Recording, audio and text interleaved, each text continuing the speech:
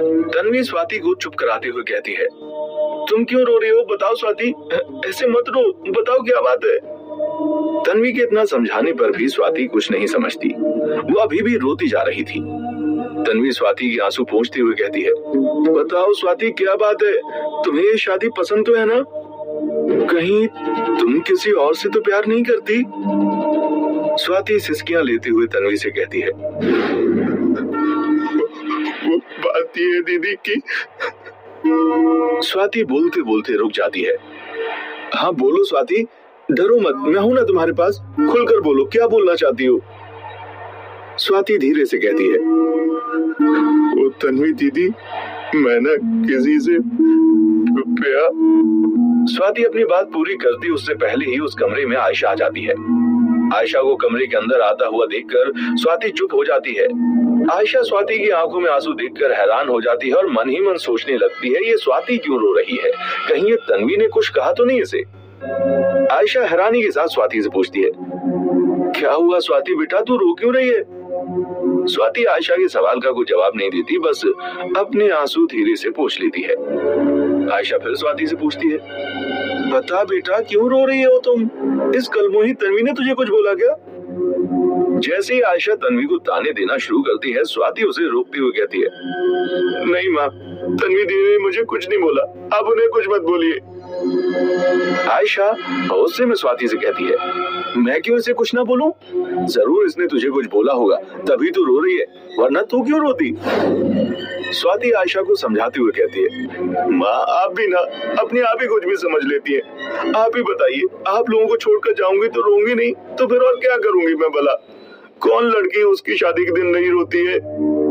ये बात सुनकर आयशा का गुस्सा शांत हो जाता है और वो नॉर्मल होते हुए स्वाति से कहती है, बेटा, मैं समझती हूँ इस बात को। आखिर मैं भी तेरी माँ होने से पहले एक लड़की ही थी। एक लड़की को सिर्फ़ एक लड़की ही समझ सकती है, समझी?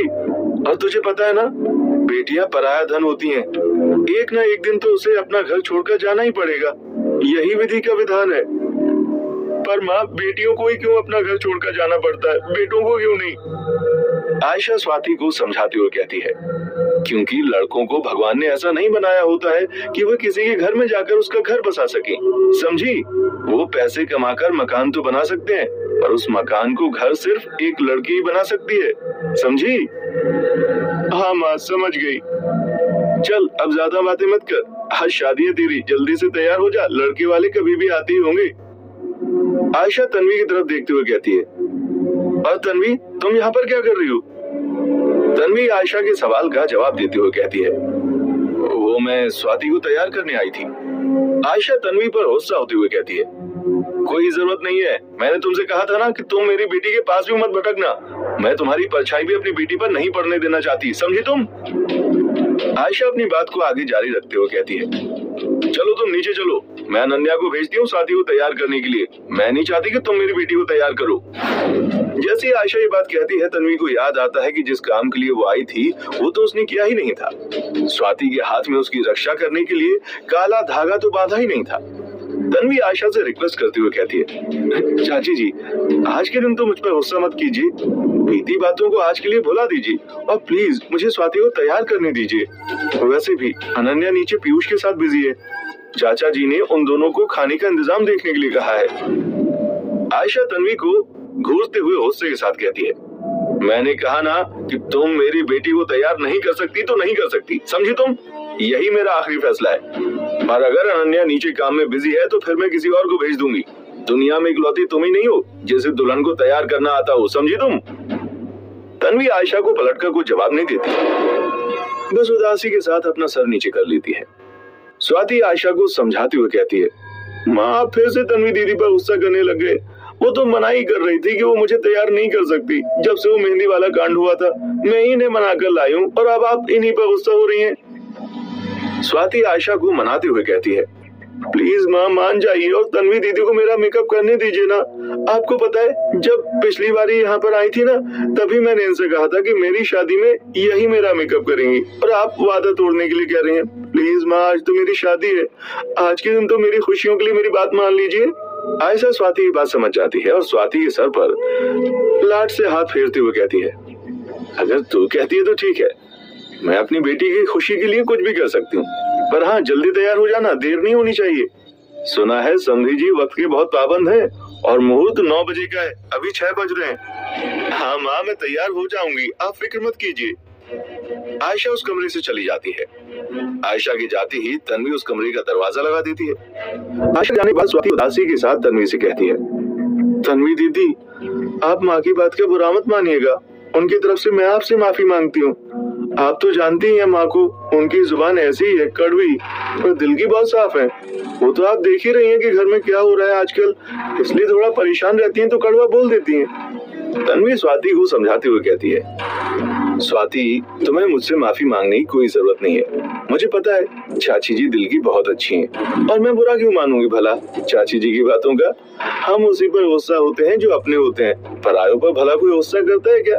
और अब ये सब छोड़ो। वक्त वैसे भी गुजरता जा रहा है। हमें ज़्यादा वक्त बर्बाद ना करते हुए सारा ध्यान तुम्हारे मेकअप पर लगाना चाहिए। देखना, आज की रात मैं तुम्हें ऐसा तैयार करूँगी कि हर कोई तुम्हें देखता रह जाएगा। इतना कहकर स्वाति तन्वी को तैयार करने लग जाती है। कुछ ही घंटों में तन्वी स्वाति को तैयार कर देती है। तन्वी स्वाति की आँखों में आईलाइनर लगा रही थी और स्वाति की आँखें बंद थी। आईलाइनर लगाने के बाद तन्वी स्वाति से कहती है स्वाति, अब तुम अपनी आँखें खोल सकती हो। स्वाति धीरे से अपनी आँखें खोलती है और जब वो आईने में अपना चेहरा देखती है तो बस देखती रह जाती है। स्वाति दुल्हन की ड्रेस में बहुत सुंदर लग रही थी। उसने लाल जोड़ा पहना हुआ था और कानों में छोटे छोटे सोने के झुमके पहने हुए थे। उसने बालों में मोगरे के फूलों का गजरा लगाया हुआ था। स्वाति खुश होते हुए कहती है तन्वी दीदी, मुझे तो यकीन ही नहीं हो रहा कि ये मैं हूँ। मैं तो खुद अपने आप को नहीं पहचान पा रही हूँ। पता नहीं घर में कोई मुझे पहचान पाएगा या नहीं। इतना कहकर स्वाति मन ही मन हंसने लग जाती है। तन्वी भी अपने आप पर गर्व महसूस करते हुए कहती है, मैंने कहा था ना कि ऐसा तैयार करूँगी कि देखती रह जाओगी। अपने आप को आईने में निहारने के बाद जब स्वाति तन्वी को देखती है तो अचानक उसका चेहरा उतर जाता है। स्वाति को यूँ अचानक उदास होता हुआ देखकर तन्वी हैरानी के साथ उससे कहती है, क्या हुआ स्वाति? तुम उदास क्यों हो गई? तुम्हें मेकअप पसंद नहीं आया क्या? स्वाति तन्वी के सवाल का जवाब देते हुए कहती है, नहीं तन्वी दीदी मेकअप तो मुझे बहुत पसंद आया। फिर क्या बात है? तुम यूँ अचानक से उदास क्यों हो गई? तुम्हारा चेहरा क्यों उतर गया? चेहरा नहीं उतरेगा तो क्या होगा, तन्वी दीदी?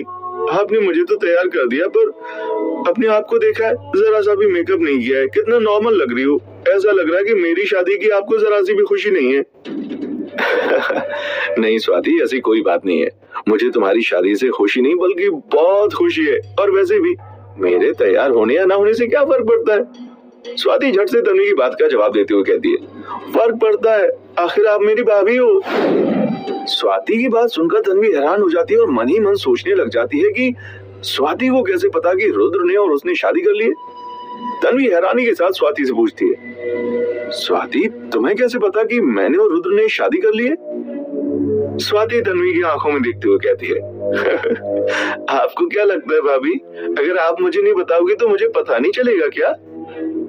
स्वाति, ये मेरे सवाल का जवाब नहीं है। मैंने तुमसे पूछा कुछ और है और तुम मुझे बता कुछ और रही हो। बताओ तुम्हें कैसे पता कि मैंने और रुद्र ने शादी कर ली है, मैं जानना चाहती हूँ? स्वाति अपनी नज़रें चुराते हुए कहती है वो भाभी, मुझे तो उसी दिन पता चल गया था जिस दिन आप और भैया इस घर में आए थे। तन्वी हैरानी के साथ कहती है, क्या? स्वाति अपनी बात को आगे जारी रखते हुए कहती है हाँ भाभी, जब उस दिन मैं आपके लिए गर्म पानी लेने गई थी ना तो वापस आते वक्त मैंने आपके और अनन्या दीदी के बीच की सारी बातें सुन ली थी। तन्वी धीरे से स्वाति से पूछती है, ये बात तुमने चाची जी को तो नहीं बताई ना स्वाति? नहीं भाभी, ये बात मैंने घर में किसी को नहीं बताई। आप टेंशन मत लीजिए, पर यदि आपने मेरी एक बात नहीं मानी तो सबको बता दूँगी। तन्वी हैरानी के साथ स्वाति से पूछती है, कौन सी बात स्वाति? स्वाति अपने चेहरे पर मुस्कान लाते हुए कहती है, यही कि जाइए और जल्दी से तैयार होकर आइए। भले ही किसी को पता ना हो, पर मुझे तो पता है ना कि आप मेरी भाभी हो। और मैं अपने भैया भाभी के साथ एक बहुत सुंदर फ़ोटो खिंचवाना चाहती हूँ। अब जल्दी से जाइए और तैयार होकर आइए। तन्वी स्वाति की बात से अग्री होते हुए कहती है हाँ बाबा हाँ जा रही हूँ, पर उससे पहले तुम अपनी आँखें बंद करो। स्वाति हैरानी के साथ कहती है, क्या कहा भाभी? अपनी आँखें बंद करूँ पर क्यों? तन्वी स्वाति को समझाते हुए कहती है, मैंने कहा ना, आँखें बंद करो तो बस करो। समझी? तुम्हें मुझ पर भरोसा तो है ना? स्वाति तन्वी के सवाल का जवाब देते हुए कहती है, भाभी, मुझे आप पर अपने आप से भी ज़्यादा भरोसा है। इतना कहकर स्वाति अपनी आँखें बंद कर लेती है। तन्वी का पर्स वहीं पर रखा हुआ था। तन्वी झट से अपने पर्स में से काला धागा निकालती है और उसमें शिव गायत्री मंत्र पढ़ते हुए नौ गांठे बाँध देती है। तन्वी धीरे से स्वाति का हाथ अपने हाथ में लेती है और उसके हाथ में वो काला धागा बाँध देती है। धागा बांधने के बाद तन्वी स्वाति से कहती है, अब तुम अपनी आँखें खोल सकती हो।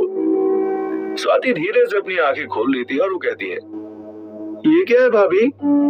तन्वी स्वाति के सवाल का जवाब देते हुए कहती है, ये तुम्हारा सुरक्षा कवच है लोगों की बुरी नज़रों से बचने के लिए। आज शादी है ना तुम्हारी?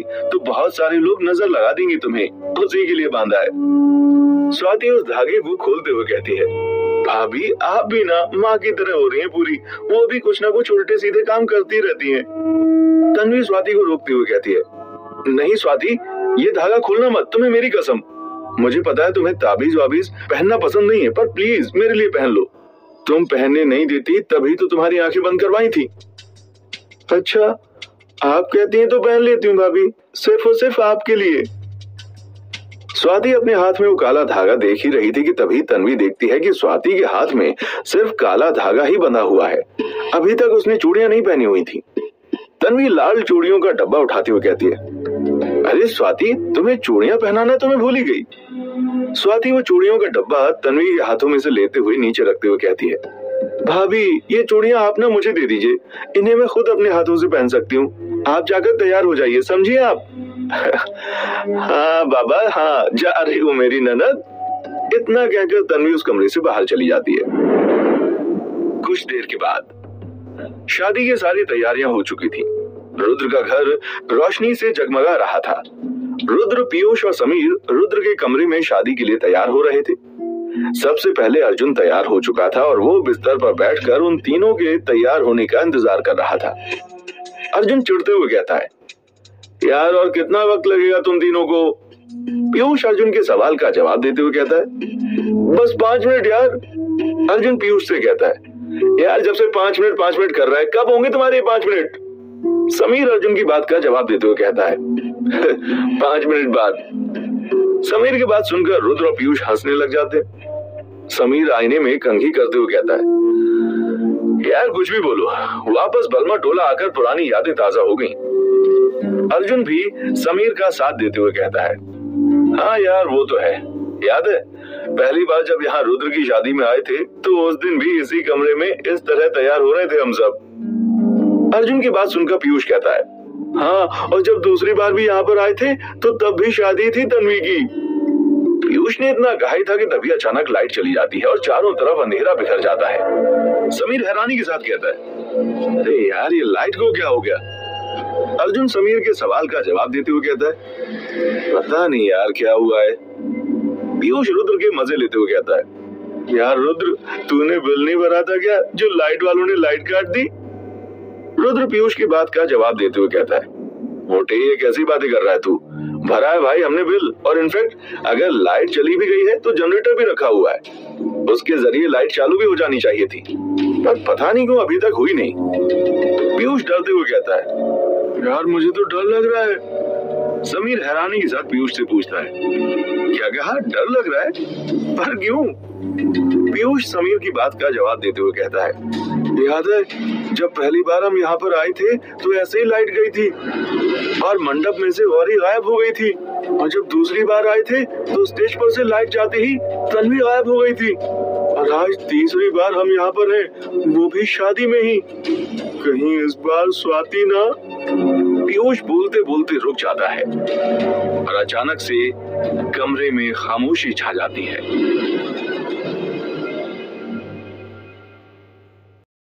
रुको यार स्टोरी तो सुन लिया सब्सक्राइब नहीं किया अभी आपने वीडियो लाइक नहीं किया तो प्लीज़ सब्सक्राइब करो यार, क्या कर रहे हो?